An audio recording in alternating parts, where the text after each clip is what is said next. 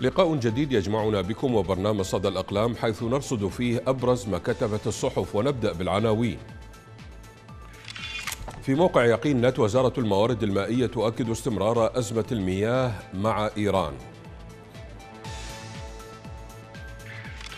في موقع الهيئة نت استطلاعات رأي عزوف ملحوظ للناخبين عن التصويت في الانتخابات البرلمانية المقبلة. في العربي الجديد العراق يكشف عن كميات هائلة من خام الفوسفات سبعة مليارات طن في الأنبار.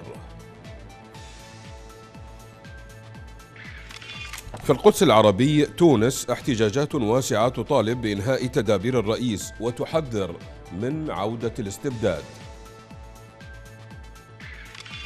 في صحيفة نيويورك تايمز مع وصول وقود إيران حزب الله يقدم نفسه مخلصا للبنان. في صحيفة لوموند شراكة أوكوس قد تشجع دولا أخرى على الرغبة في الحصول على الغواصات مثل أستراليا. وفي موقع عربي 21 نذر حرب باردة غضب صيني من غواصات أمريكا النووية لأستراليا.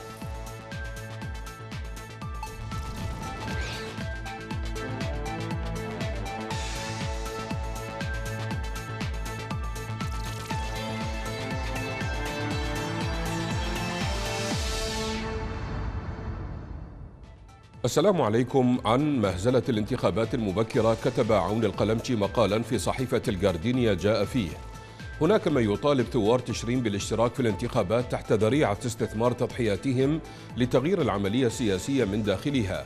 في حين أصبح الحديث عن هذه الانتخابات المرتقبة بالنسبة لعموم العراقيين موضع سخرية واستهجان كلما ورد ذكرها.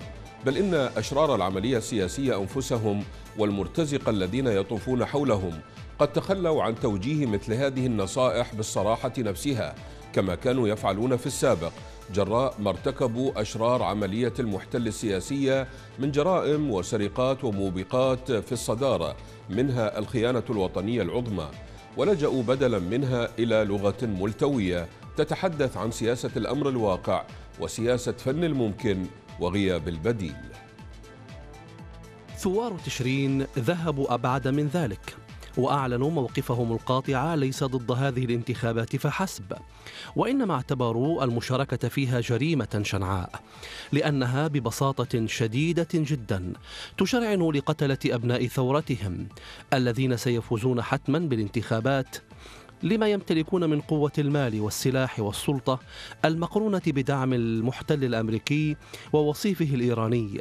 خاصة وأن ثوار تشرين يعلمون علم اليقين بأن قبول هؤلاء الأشرار بالانتخابات المبكرة والتعديلات التي قاموا بها ليس الهدف منها تلبية مطالب الثوار وإنما الاتفاف على هذه المطالب وإفراغها من محتواها الثوري والمحدد بإسقاط العملية السياسية برمتها. وهذا ما يفسر بوضوح رفض ثوار تشرين حكومة عادل عبد المهدي مثلما رفضوا حكومة مصطفى الكاظمي الكاظمي فكلاهما تلاميذ نجباء في مدرسة العمالة والخيانة. وأيضا رفض المشاركة في الانتخابات قبل كتابة جديدة لقانونها وتشكيل مفوضية مستقلة نزيهة للإشراف عليها ومراقبة دولية محايدة. وأهم من ذلك كله كتابة قانون جديد للأحزاب يحرم مشاركة هؤلاء الأشرار في أي انتخابات تجرى سواء هذه الانتخابات أو التي تجرى في المستقبل. في المقابل فإن العراقيين عموما وليس ثوار تشرين وحدهم قد تولدت لديهم قناعة راسخة بأن هؤلاء الأشرار لن يتحركوا قيد أنملة إلا بأمر من أسيادهم. وما هذه الانتخابات إلا محاولة بمستوى الفضيحة للالتفاف على عدالة الثورة وتأكيد مشروعيتها وحتمية توسع قاعدتها الشعبية. فالأسياد يدركون أكثر من عملائهم خطورة الثورات الشعبية على مستقبل تواجدهم في العراق.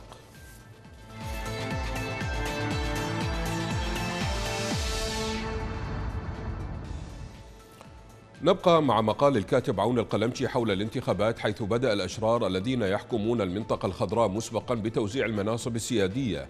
حيث سيكون منصب رئيس الجمهورية من نصيب حزب مسعود البرزاني بعد أن كان هذا المنصب حكرا على حزب جلال الطالباني. ويحتفظ الحلبوسي بمنصب رئيس مجلس النواب. في حين آه، يمنح مصطفى الكاظمي القريب من التيار الصدري يمنح ولاية ثانية. وحتى إذا جرى تدوير ما في المناصب فهذا لا يعني تغيرا في سلوكهم المشين. ما دام الأساس الطائفي للعملية السياسية سيبقى كما هو. ما يجري من حديث عن القادمين الجدد وما يتصفون به من وطنية ونزاهة وشرف وعن إمكانية هؤلاء من تشكيل كتلة قوية داخل البرلمان تستطيع إصلاح العملية السياسية من داخلها فهذا ما يثير السخرية. فلقد أكدت الوقائع بأن من يرضى ترشيح نفسه للانتخابات وينفق عشرات الملايين من الدولارات من أجل تحقيق الفوز لا يهدف إلى خدمة ناخبيه وتحقيق مطالبهم. وإنما يسعى من خلال مقعده في البرلمان أو لاحقا في الحكومة لأن يصبح مليونيرا أو مليارديرا بغمضة عين. خاصة وأن هذا المقعد يضمن له عدم محاسبته أو مساءلته حتى وفق قانون من أين لك هذا؟ كون هذا المقعد محميا بتعويذة نظام المحاصصة الطائفية والعرقية على عكس ما يجري تماما في أبسط الدول الديمقراطية أما محاولة حشر العراقيين في سؤال ما البديل فهذه محاولة بائسة وسخيفة لتقزيم الذات العراقية فثورة تشرين العظيمة أجابت عن هذا السؤال إجابة بليغة وموجعة أربكت الأشرار. فلا أحد يستطيع القفز على حقيقة أن الشعوب وقواها الوطنية وثوراتها هي البديل. طال الزمان أم قصر. وشعب العراق له تاريخ مجيد في الثورات ضد المحتل وعملائه وضد الحكومات الدكتاتورية والعميلة. ومن يعتقد أن هذه الثورة قد انتهت جراء تراجعها لأسباب عديدة فإنه لفي ضلال مبين. فالثورات لا يعيبها مثل هذا التراجع فهي ليست جيشا نظاميا إذا كسر هزم. الثورة قوة شعبية تخوض حربا طويلة الأمد قد تستمر سنين عديدة لتحقيق أهدافها الوطنية المشروعة. وقد مرت كل الثورات الشعبية في العالم بحالة مشابهة وحققت في نهاية المطاف الانتصار وحرر شعوبها من عار الاحتلال وعملائه من شخصيات وتجمعات وحكومات بمعنى أوضح. فالتعثر والتراجع الذي تتصف به ثورات التحرير الشعبية طويلة الأمد لا يقلل من شأنها على الإطلاق. ففي نهاية المطاف تنتهي هذه الثورات إلى تحقيق النصر المبين. في حين يكون نصيب المحتلين الهزيمة مهما بلغوا من قوة وجبروت خصوصا أن ثوار تشرين يتسلحون بإرادة لم يشهد العالم مثيلا لها.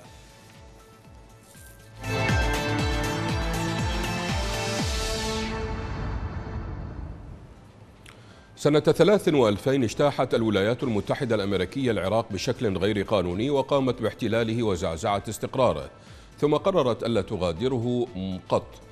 قتل مئات الآلاف من العراقيين وأصبح ملايين آخرون لاجئين أو مهجرين داخليا. الأضرار التي لحقت آه، السكان لا يمكن فهمها تقريبا. وبعد عقود من الصراع أصبح أكثر من مليوني عراقي معاق. في حين أن حالات اضطراب ما بعد الصدمة أصبح لا مفر منه. تركت أجيال بأكملها غير قادرة على النظر إلى المستقبل بنفس الطريقة. حول أثار غزو العراق نشر موقع انتليجنسر تقريرا لنستمع إلى جزء منه. اليوم يجب إضافة الشعب العراقي مع القتلى الأمريكيين وعائلاتهم إلى سجل ضحايا الحادي عشر من سبتمبر.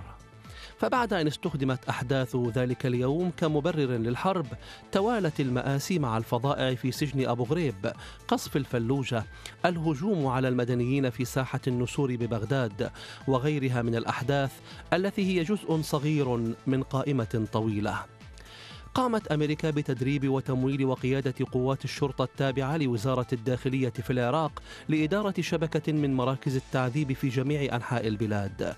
أصبحت أجزاء من العراق الآن أنقاضا وأصبحت خرابا بسبب الحماقة الغربية. تم توقيع مئة أمر عسكري لتصبح قانونا من قبل سلطة التحالف المؤقتة المدعومة من الولايات المتحدة الأمريكية لخصخصة الشركات التي تديرها الدولة وتعديل قوانين الضرائب لتسهيل الملكية الأجنبية. أفضل وصف للحديث عن دخول أمريكا إلى العراق هو استعمار متعدد العقود تغيير كامل للبلد عبر المجالات العسكرية والاجتماعية والسياسية والاقتصادية في حملات تمتد إلى عام 1991 على الأقل. منذ ذلك الحين استخدمت أمريكا كل إجراء قسري في ترسانتها. العقوبات واجتثاث البعث والقصف الجوي والاغتيالات المستهدفة وتدمير البنية التحتية المدنية. والآن وبعد ستة رؤساء في حالة حرب مع البلاد وعدت الإدارة الحالية بسحب القوات الأمريكية بحلول نهاية العام. أي استبدال الزي الأخضر بالرمادي وترك جهاز استخبارات عسكري سليم مكون من عشرات المقاولين والاستشاريين الذين سيدعمون الزعماء والبيروقراطيين المختارين. شعب العراق هو واحد من بين الكثيرين الذين تستهدفهم الحرب العالمية على الإرهاب في وقت يجلس الأمريكيون مبتهجين بالكوارث التي تكشفت في أفغانستان في أغسطس آب. من الواضح أن الاهتمام الذي يولى لأفغانستان بعد سنوات من الإهمال يتعلق بمشهد الهزيمة الأمريكية أكثر من أي رعاية حقيقية لأرواح الشعب الأفغاني. غالبا ما يتم التعامل مع احتفالات الذكرى السنوية مثل الحادي عشر من سبتمبر على أنها فرص للتأمل في الحزن الأمريكي. لكن الضحايا العرب والمسلمين للحرب على الإرهاب غير مهتمين بما تعلمته الولايات المتحدة من كوارثها.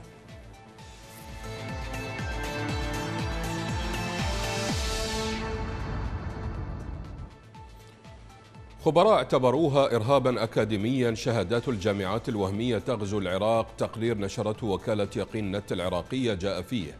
عندما يطالب نائب في البرلمان العراقي يفترض أن تكون وظيفته تشريع القوانين ومراقبة تطبيقها بإصدار عفو عن مرتكبي جرائم تزوير الشهادات الدراسية على اختلاف مستوياتها. وعندما تكون تبريراته أغرب من الطلب نفسه حيث قال إن العفو يساهم بحل مشكلة البطالة. وأن العفو مطلوب لأن كثير من المزورين يحتلون مناصب رفيعة في الدولة فتحيل مستوى التعليم في العراق. لا يشترط الترشح للانتخابات البرلمانية العراقية مؤهلا جامعيا أو شهادة عليا كما لا يحمل أغلب أعضاء مجلس النواب مثل هذا المؤهل. ومنهم من لم يحصل حتى على المؤهل الثانوي سواء في الدورة الحالية أو في الدورات السابقة. لكن سباقا محموما للحصول على لقب دكتور أصبح سمة بارزة للمرشحين والمرشحات لإقناع الناخبين بانتخابهم أو لمجرد التفاخر. الأمر الذي فتح سوقا كبيرا للشهادات المزورة وأنشأ بعض المتصيدين في الماء العكر جامعات وهمية وأكاديميات مزيفة لتلبية الطلب المتزايد عليها. وذكرت تقارير صحفية أن هذه الجامعات انتشرت في أوروبا وعملت على بيع الشهادات للراغبين في دخول الحياة السياسية العراقية بوجاهة يزينها حرف الدال الذي يسبق أسماءهم. وقام الصحفي البريطاني المختص بشؤون الشرق الأوسط برايان ويتكر بتحقيق استقصائي كشف من خلاله عن أهم هذه الجامعات الوهمية ومنها جامعة مقرها في الدنمارك ويرأسها دنماركي من أصل عراقي. ويقول ويتكر في تحقيقه الذي ترجم للعربية إن هذه المؤسسة ليست جامعة على الرغم من أنها تتظاهر بأنها كذلك وهي المؤسسة الأحدث في سلسلة من المؤسسات التي يديرها القطاع الخاص والتي وجدت لتعمل في أوروبا من دون اعتماد مناسب لتقوم بإصدار شهادات جامعية عليا للراغبين من الشرق الأوسط لكنها في الواقع لا قيمة حقيقية لها. يبدو أن التساهل في هذا الموضوع فتح الباب واسعا للجميع في العراق. لم يعد الأمر مقتصرا على نائب أو وزير يدفع مبلغا كبيرا من أجل الحصول على لقب دكتور مزيف. فالأرقام التي نشرت عن عدد الشهادات المزورة الموجودة بالفعل سواء من الجامعات الوهمية أو بعمليات تزوير تتم في الداخل وحصل أصحابها على وظائف حكومية يشير إلى انتشار هذه الظاهرة بشكل كبير. وكان عضو لجنة التعليم النائب رياض المسعودي قد ذكر رقما مذهلا لحجم التزوير في الشهادات الدراسية عندما أكد وجود 30 إلى 40 ألف شهادة مزورة في العراق.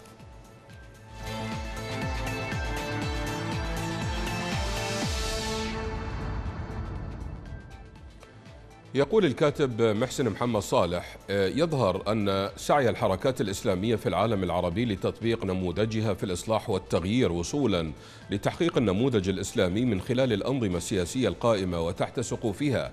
يواجه مأزقا حقيقيا بعد فشل معظم أو كل تجاربها آه، على مدى العقود الماضية.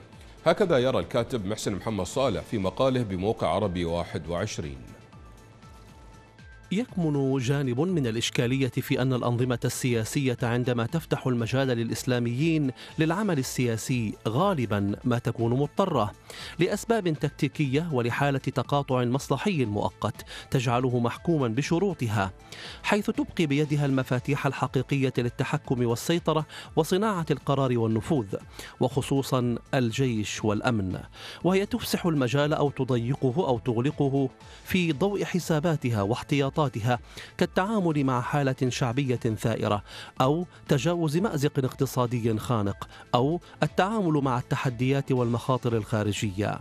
كما أن حجم التيار الإسلامي وشعبيته وقوته يفرض جانبا من حسابات النظام.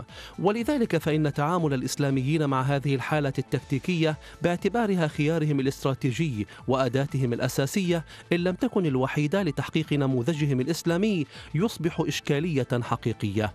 إذ يتحولون إلى ترس في ماكينة النظام ويتم استنزافهم شعبيا. في الوقت الذي يدفعون فيه أثمان إكراهات السياسة وضرورات المرحلة في يضطرون للسكوت عن العديد من سوءات النظام ومفاسده. وعلى تعطيل جانب كبير من برنامجهم الإصلاحي والصبر على التأثير على الانتخابات بدرجة أو بأخرى. وعلى القسمة الضيزة للمواقع القيادية إن حصلت مشاركة وزارية. ويتحولون إلى جزء من ديكور النظام أو هامش من هوامشه. وبالتالي يجدون أن بوصلتهم الإصلاحية قد تاهت. عندما يكون النظام السياسي مصمتا ومغلقا على سلطة حاكمة عائلية عسكرية طائفية نفوذ نفوذ خارجي أو تأخذ طابعا هو في أساس تكوينه ودولته العميقة يتخذ مسارا ويتبنى منظومة لا تسمح للإسلاميين بالتعبير الحر عن إرادة الجماهير ولا بالاستفادة من صندوق الاقتراع الانتخابات الحرة النزيهة في تحقيق برامجهم على الأرض ولا في امتلاك القدرة على التغيير في منظومة الدولة وفي مفاتيح السيطرة والتحكم. في الوقت الذي يحدد له النظام المناطق التي يمكنه أن يلعب فيها فعند ذلك على الإسلاميين أن يدركوا أن مشروعهم الحضاري النهضوي غير قابل للتنفيذ وأن أعمالهم ستكون تحت سقف النظام ووفق شروطه.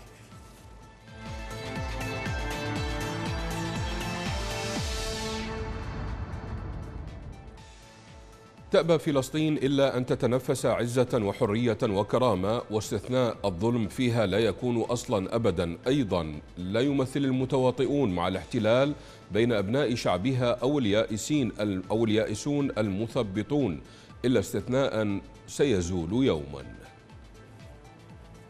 من كان يظن أن الأبرتهايد الصهيوني يحترم قوانين ويعترف بمواثيق دورية أو أنه ديمقراطي فليعد حساباته في ضوء قصة إسراء.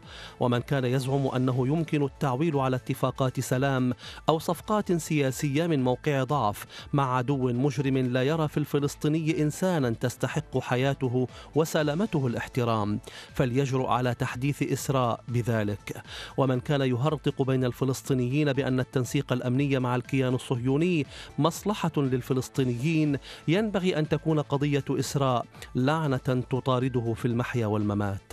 قد تكون إسراء جعابيص حالة مغرقة في الكآبة والحزن والأسى ولكنها أيضا شعاع أمل أن الفلسطيني الحر مهما توجع وعانى تبقى روحه ترنو نحو الغد القادم المشرق. كالعادة سيطلع علينا بعض المتحذلقين ليقولوا إن جرائم الاحتلال الصهيوني نعيم أمام فظائع جرائم بعض الأنظمة العربية. وإن زنازين إسرائيل جنة مقارنة بجهنم زنازين بعض العرب. يا هؤلاء البؤس واحد والجريمة واحدة والمجرم واحد والضحية واحدة. لا فرق بين ألم وألم حتى لو اختلف مختلفة الدرجة ولا فرق بين دم ودم إلا في حشايا تحيزات مخبولين. وكل من يسعى في التفريق بين آلامنا ومصابنا وأحزاننا وتطلعاتنا هو منتن خبيث مهما ادعى وصلا بجرح من جراحات أمتنا. أما التائهون الباحثون عن سلام مع عدو فتك ويفتك بشعبهم وأمتهم فهم في الغي سادرون وكثير منهم من الخيانة والعمالة يثملون.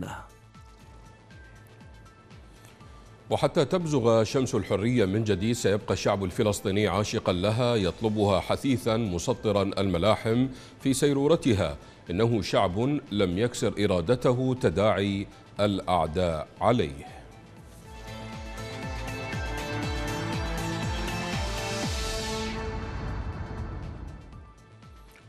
لفت فريق عماني لاستكشاف الكهوف الأنظار وصار حديث مواقع التواصل الاجتماعي بعد تجاوزه أسطورة محبس الجن وقعر جهنم التي يروج أنها مسكونة بالجن.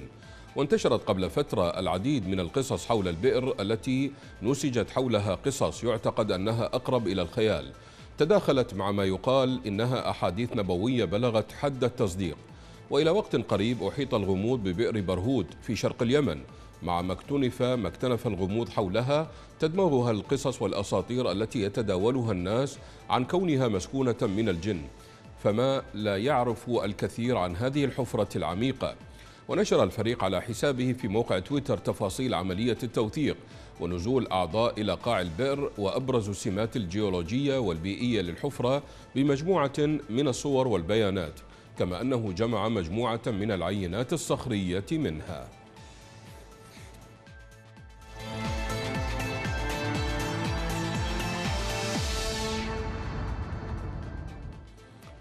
الرسوم الكاريكاتورية لها أسلوبها الخاص في وصف الأحداث حول العالم.